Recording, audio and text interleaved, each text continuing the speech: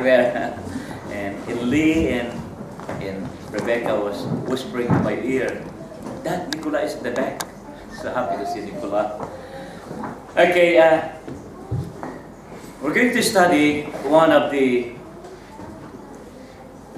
important topic uh, topics in the New Testament mentioned prophesied 300 times about the coming of Jesus Christ.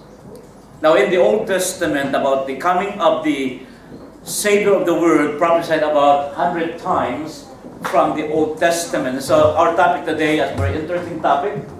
It's a topic that uh, to inform us, not, not only to be ready, but to appreciate the wonderful destination of our long-suffering journey, patiently waiting and enjoying the faith in the Lord and Savior Jesus Christ. Very exciting.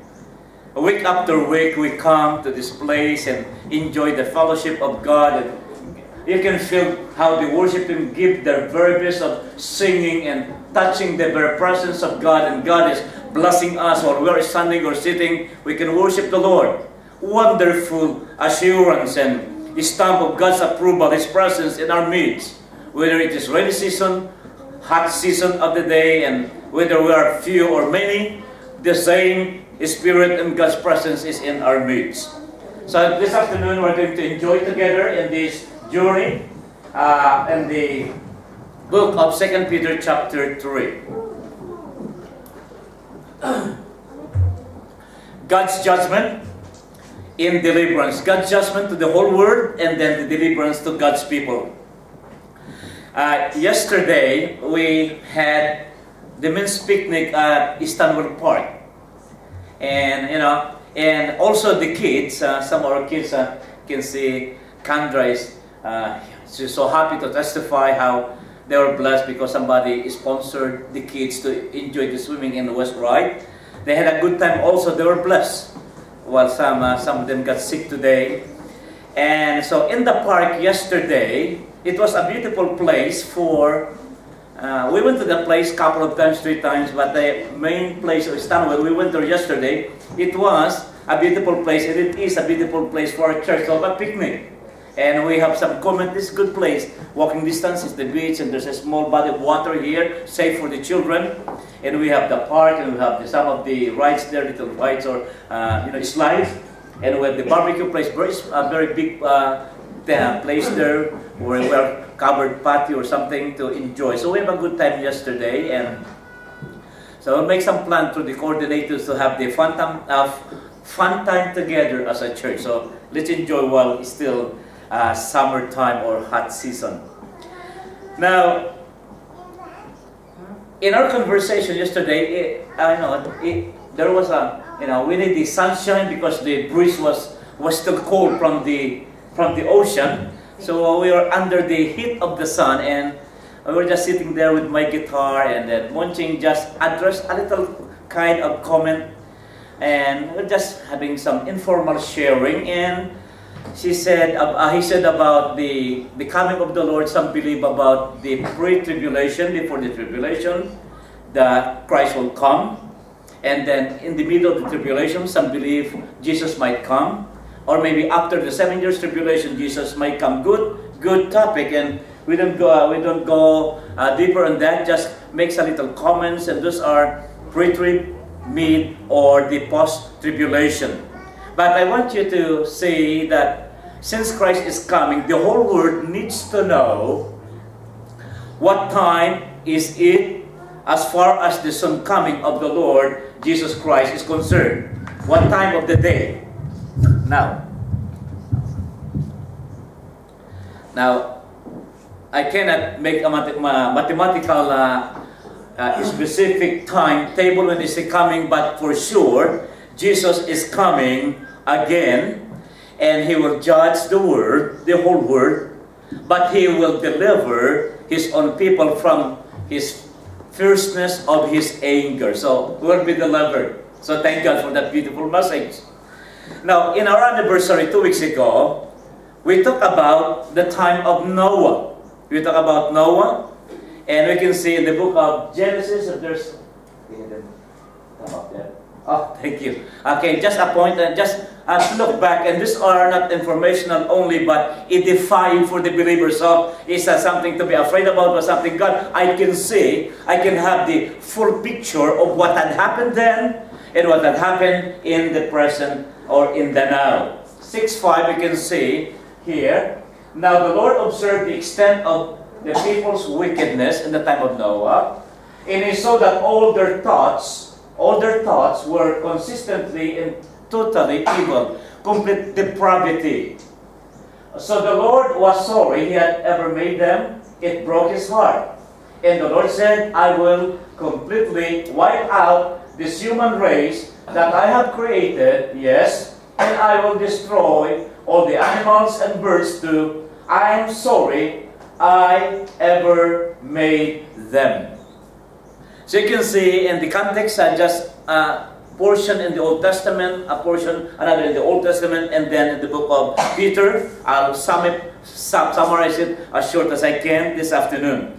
Can you just imagine looking back to the time of Noah? It took the man of God and took God to wait for people to respond to the saving grace of Jehovah God, uh, Jehovah Nisi, Jehovah uh, or El Shaddai or Elohim, the Trinity name of God in the Old Testament, El Shammah or what uh, or righteousness of the Old Testament. These are the name of God ascribed as far as his uh, relational attribute to people is concerned. Now, can you just picture in your mind, for 120 years, God is so gracious, extending the length of time for 120 years, but the people did not receive the message of God. And the Bible is very clear because the intent and the thoughts of men were consistently evil. There is an ongoing, progressive, uh, that's like in the music, uh, crescendo, going up and up and up. And then the Bible is very clear, uh, continually, not up and up, but continually, the wickedness of men was great in the earth. So that was during the time of Noah. Now, how, how can I describe it? If I try to figure out in the context of the Word of God. Now, in other words, I try to uh, visualize, based on the description of the man of God Moses in the first book of the Old Testament, Genesis, the whole faculties of men, I said the whole faculties of men, first from the five senses to the mind, to the emotion, and to the will. And of course, the spirit that will communicate to the Lord is not communicating because they are dead in trespasses and sin. What happened? The five senses, the mind, that dictates, that, that will control the movement of the five senses, that will satisfy the appetites or the animal appetites.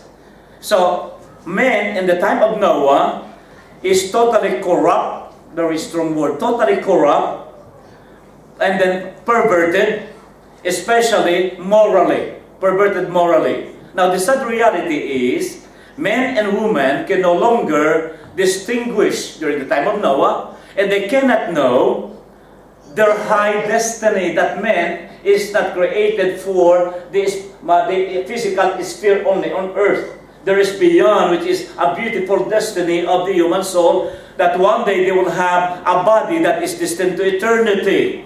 They don't have, they have no knowledge about their higher destiny in the Lord. So their philosophy, as we know during the time of Noah, be happy, eat, and drink, because tomorrow we will die anywhere. Anyway, anyway. In other words, like an animal, be happy and eat as much as you can, enjoy as much as you can. Tomorrow I will die, and that's it. But that is not it. So people has no more knowledge of what is wrong to what is right. Very barren, completely, uh, completely uh, like a, a desert. There is no water at all. In other words, we use it in the, uh, there are desensitized, which means it's numb. If you pinch it, there is no sensation. Mentally, emotionally, they kept, kept living in sinning, in sinning, in sinning it is just like the norm of the day. And there is no light at all. But no, sorry. There is light. Noah and the family are the messages that there is God of the heavens and the earth. So what happened? They desensitized within, listen to me, and all unrighteousness without or to the outside by. In other words, the fountain of the mind, you know, the fountain like spring of water, supposed to create and produce good ideas and good thoughts, is now incurably poisoned. Now, the flows of ideas in the mind is contaminated. Know, when the water is contaminated, it's like the venom of a snake that can kill and destroy. So the man gets used to do evil as normal. So God's judgment, as I finish that, God destroyed them all in the book of Genesis. So God said to Noah, 6.13, I have decided to destroy all the living creatures, for the earth is filled with violence because of them. Yes, I will wipe them all from the face of the earth. Good news from the Old Testament. So this is our good news to us even this afternoon. That's why we enjoy listening. We enjoy worshiping God. We persistently moving forward. What happened? God saved Noah, the wife, and the daughters, and then uh, the son-in-law. They're all saved. Eight members of the family. God spared them, and God repopulate once again the planet Earth through those uh, four couples Noah and the wife, and the three kids and their respected husbands and wives. Another thing that we can see in Genesis 13, as we'll jump in a few moments to the main exposition, is during the time of Lot. Okay, Genesis 13, 13. Okay, thank you, Nathan. The people of this area this, were unusually wicked in sin greatly against the Lord. Now, here is not again the description of the time of Sodom and Gomorrah during the time of Abraham. And the, the people there, the, another translation, we exceeding, were exceedingly wicked and sinful against the Lord. That's in the other translation, the uh, New King James Version. Exceedingly wicked and sinful against the Lord. Here, sin greatly against the Lord. So during the time of Lot. Now, how can you describe in a word of God about Sodom and Gomorrah. I want you to see in Genesis 19.5, if we have it there. Okay, there is. Follow me here. So right there we can see how the Lord is said, uh, children, I want you to know, and you can understand how I judge the word then, and you'll understand how I will judge the coming word in your time, or before, uh, when we die, or before we die, how the earth will be burned. Okay, here we are. Genesis 19, 5, and then 12 to 13. Follow me. That the word is plain to all of us. Okay, because here, now God sent two angels to Lot. And God now was, they call it theophany, in the form of an angel, was speaking to Abraham. So God, the Father, or Jesus Christ was talking to Abraham, and the two angels went to the house of Lot. And so when Lot saw, saw this angel, if you graciously, uh, uh, I want to invite you to stay with me because it's uh, almost night time. I'll prepare some food for you, eat, and I have a place for you to stay just for the night. The following day, sir, or with reverence to you, you can just go ahead wherever you want to go. Uh, so that was, that was the context. And so, what happened here, when the two angels went in, sleep, and, and then uh, Lot prepared the good food and cake, and verse 5, the men of the city of Sodom, when they heard that there was two men inside the house of Lot, you look at here, verse 5, they shouted to Lot, Where are the men who came to spend the night with you? Bring them out. Can we have sex with them? So you can see, during the time of Lot, the homosexual, the pervert, the lesbianism, and all the horrible things sexually was ascending, and it is so filthy and yucky to the nostrils of God. So you can see that men were looking for the angel to have physical relationship. And so the angel said to Lot, they're trying to break the door. And so the angels make a, a strong bolt and they'll become blind. They cannot find where the door was. And so the angel said to Lot in the book of Genesis, Do you have any relatives here in the city? The angel asked, Get them out of this place. Sons-in-law, sons and daughters, or anyone else. You can see there, for uh, we will destroy the city completely. The city will be destroyed completely. The, the, Look at the word. Stench of the place has reached the Lord, and He has sent us to destroy it. Another destroyer, an angel will destroy Sodom and Gomorrah. But I want you to understand how the Lord, take note of this, give special care and attention even to all of us today if something happened with the world something with the uh, with, with, the bomb or the uh, you know all the bomb today there is a providential care that God will be given to us how the Lord will spare and protect and deliver his people. Now in the context of Abraham communicating with the with God and the two angels communicating with God and Abraham asked the Lord God if you'll destroy Sodom and Gomorrah God, would you destroy also the innocent? The people who trusted you, would you destroy them together with the guilty people? Good context of the question. Lord, in other words, who are following you, are, are we going to die with them?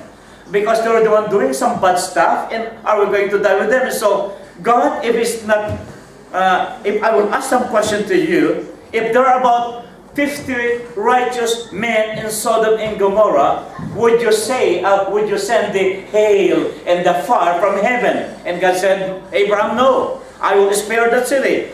God, don't be angry. If there were about 45, no. 40, 30, 20, no. 10.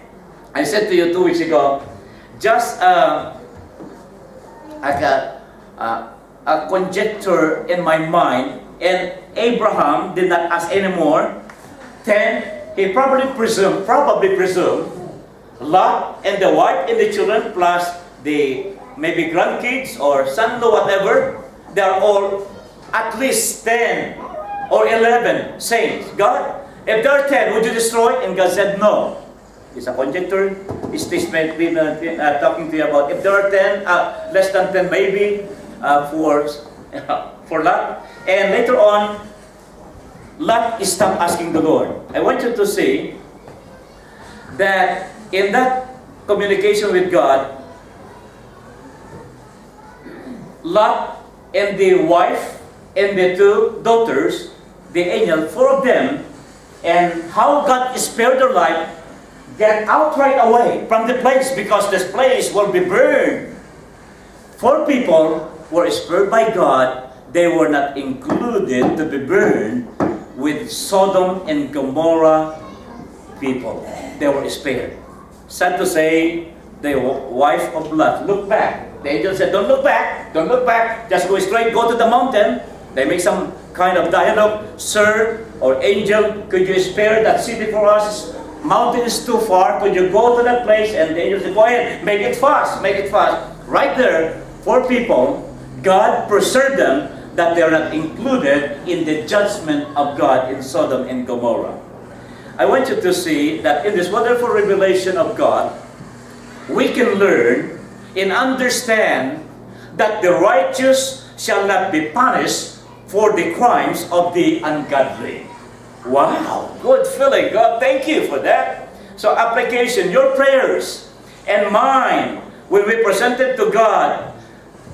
Okay? When our prayer to the Lord will not come back to us unheard or rejected. So when we pray here, it will not come back to us unheard. God heard that. There's a time element, maybe a week, a month, but God heard our prayer. He will not say no. All the promises of God in Christ Jesus is yes and amen. And your prayers and my prayers will not be rejected unless the prayer is outside in the circumference of the promises of the living God. It should be inside of the Word of God. So we are all saved because of God's love to us. The Bible says our prayers is God's delight. So when you pray, God is happy. Let's go now to chapter 3, to the point of chapter 3. The whole chapter 3 of the second Peter is to remind the believers, number 1, from verses 1 to 4. This is my second letter to you, dear friends. And both of them I have tried to stimulate your wholesome thinking and refresh your memory. I want you to remember and understand what the Holy Prophet said long ago and what our Lord and Savior commanded through your apostles. First, I want you to remind you that in the last days, there will be scoffers who will laugh at the truth and do every evil thing they desire. They will be